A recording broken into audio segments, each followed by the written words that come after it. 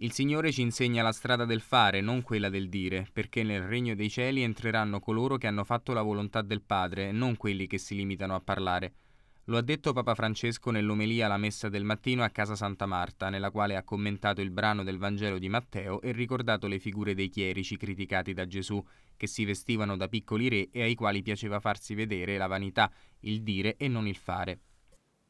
Quanti genitori si dicono cattolici, ma mai hanno tempo per parlare con i suoi figli, per giocare con i suoi figli, per ascoltare i suoi figli. Forse hanno i loro genitori in casa del riposo, ma sempre sono occupati e non possono andare a trovare i genitori e li lasciano abbandonare. Ma sono molto cattolico, eh?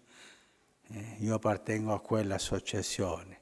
Questa è la religione del dire. Io dico che sono così, ma faccio la mondanità.